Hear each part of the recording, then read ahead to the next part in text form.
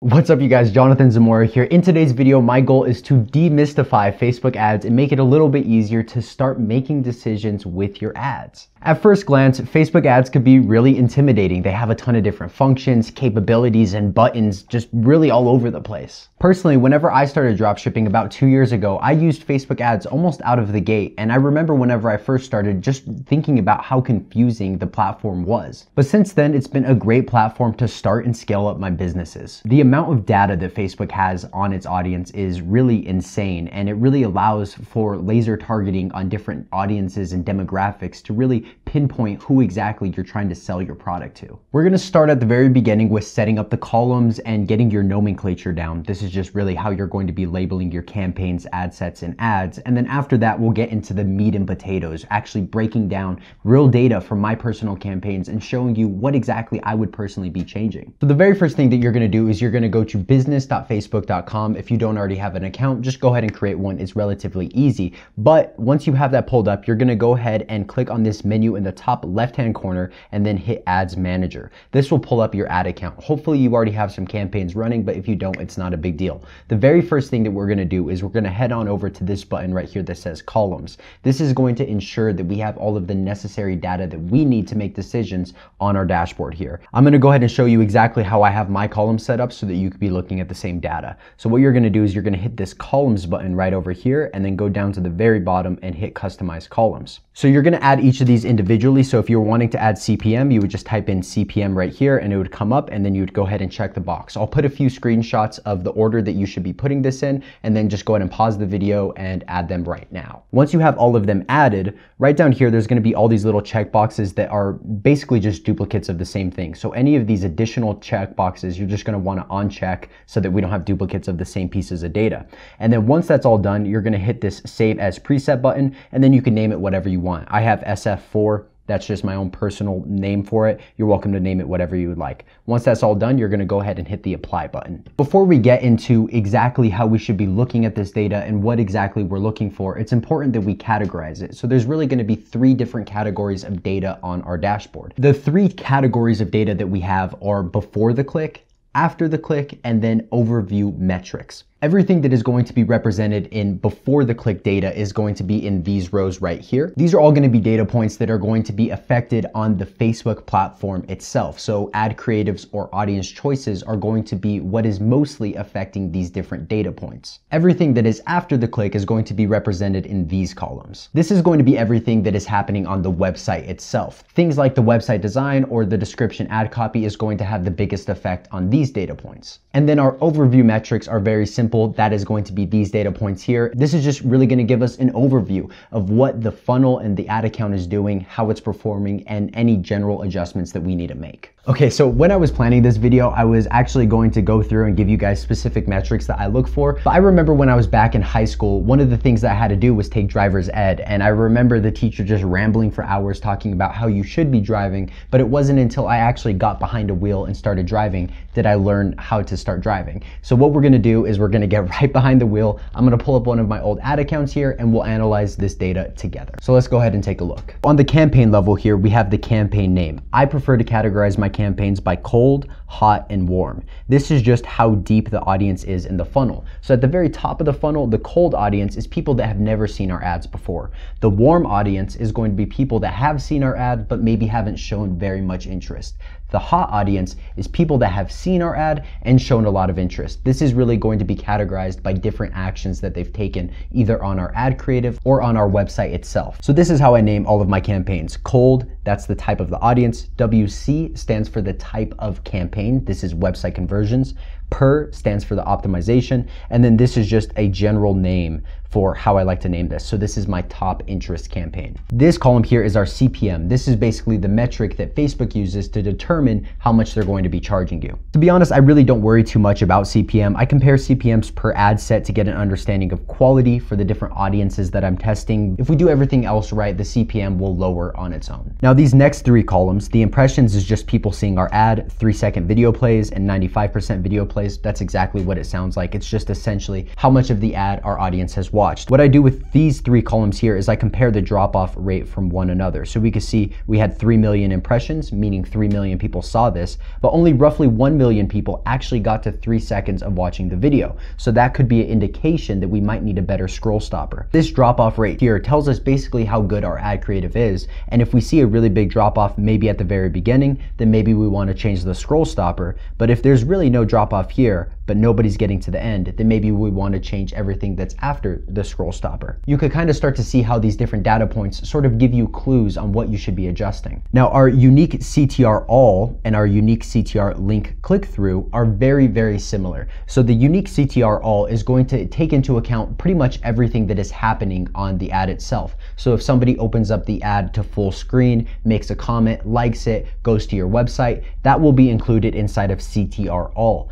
Then with the CTR link click through, that is going to be only the people that have clicked through to the website. So the difference between these two numbers will tell us how much engagement is actually happening on the ad creative. This is a good metric for one, how good is our ad creative? If the engagement's high, then we know our ad creative is actually pretty good. And then two, it also tells us how interesting our offer is. If we have a lot of people that are clicking through to the website, that means a lot of people are curious and want to know more about what we have to offer. Now with these metrics here, I'm typically going to be looking for about a 3% CTR all and about a 2% CTR link click-through rate. Those are good metrics. They're not phenomenal, they're not amazing, but they're good. They're okay. They're roughly where I would like a product test to be early on. You can see here that our metrics are quite a bit higher than that. That just means that we have a really good ad creative that meshes really well with our audience. This is a little bit more of a developed campaign, and you would start to increase this over time by testing different creatives and figuring out how much your audience actually resonates with the creative that you're showing them. Now, the unique link clicks, this just basically puts a number on our unique CTR link click-through rate. So it's just letting us know that we had about 80,000 people go to our website. Once we get to this point here, these are really the metrics that I start to pay attention to. From here on, the unique content views, adds to cart, checkouts initiated and purchases,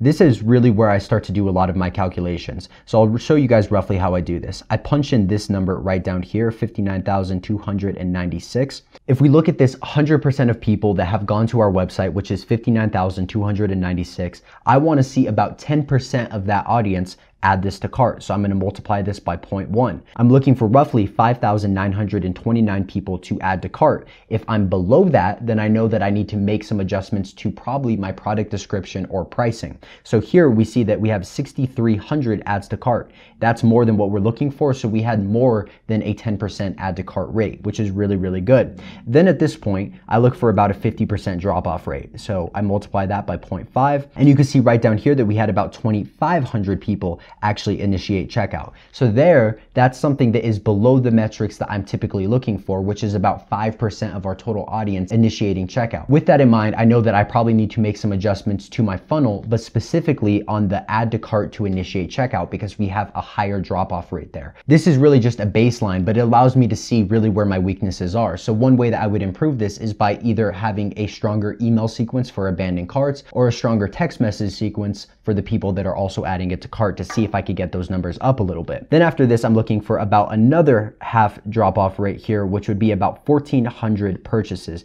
And you can see that's just under that. So if we were able to fix the add to carts to checkouts initiated, then we would probably have these purchases be in line. So we have 100% of people that go to the website, 10% of people add to cart, 5% of people initiate checkout, and then 2.5% of people actually make a purchase. This is just a rough baseline, but it lets us know where those weaknesses are. So this would be probably one of the things that I would be paying attention to. Now, as we move farther over, we have our cost per unique content view. I like this to be under a dollar at all times. If it's any higher than that, I know I need to make some adjustments to either my audience or the ad creative itself. And then with these ne uh, next couple of metrics here, this really just gives me a rough outline of how much I'm spending per ad action that is taken on our website. So I'm roughly paying 88 cents to get somebody on the website, $8.23 to get somebody to add to cart, $20 to initiate a checkout, and $37 to make a purchase. Here, with the cost per purchase, this is really going to be my main focus. All these other metrics are useful and they could tell us where these different holes are in our funnel. The cost per purchase is really going to be our North Star. In this case, we had a product that we were selling for $120. Our cost of goods was 47. So that left us with a break even even point, the difference between those two numbers, which is essentially just our profit, our profit was $73. So that meant that we could spend $73 per purchase on ads and break even. We don't make any money, but we didn't lose any money either. So I use this as a North Star to figure out whether or not I'm profitable and whether or not I'm moving in the right direction. As long as this number is lower than our break even point, we're in a pretty solid position. So I'm looking for this to be under $73 and this is currently 37. So this looks pretty good to me. And now we're on the last section here, which is going to be our overview metrics. This is really what allows us to have total control over our ad account and just really monitor overall health of the store. So here we have our budget. I really treat this like a thermostat. With the budget, I will increase it by 15 to 30% every three to four days if it's doing well. And if it's doing bad, I decrease my budgets by 15 to 30% every three or four days. It's like a thermostat for me where I'm turning it up when things are good and then I turn it down whenever things are bad just to find a nice medium. The amount spent is gonna tell us roughly how much we had to spend on our ads and then the purchase conversion value tells us how much we got back in return.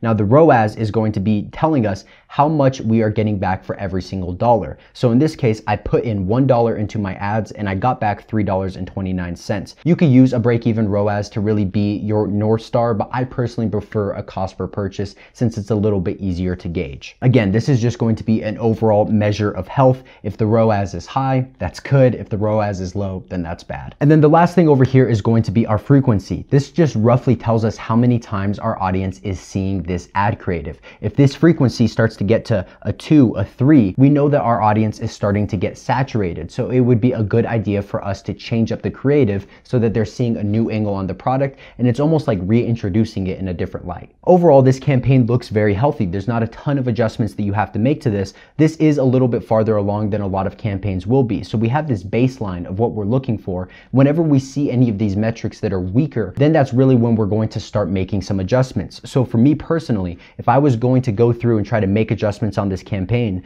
I know that all of my before the click metrics, all the way up until this point right here, all of these metrics look very healthy. There's nothing that really needs to be adjusted here. Our click-through rates are really good. That means that we have a good audience, that we have a really good creative. But then once we start getting to the website, that's really where we start to a drop off, where it's not performing as well as it should be, especially from add to cart to checkouts initiated. So that tells me that the biggest hole that I have in my funnel right now is going to be the abandoned cart sequences, whether that's email or text message. That's where I should be making adjustments. That's where I should be spending the majority of my energy.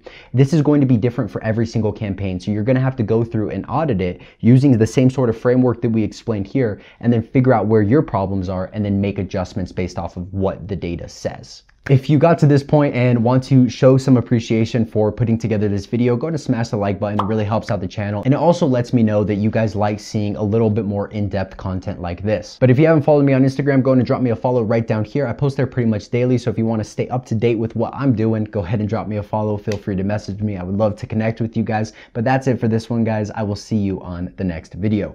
Peace.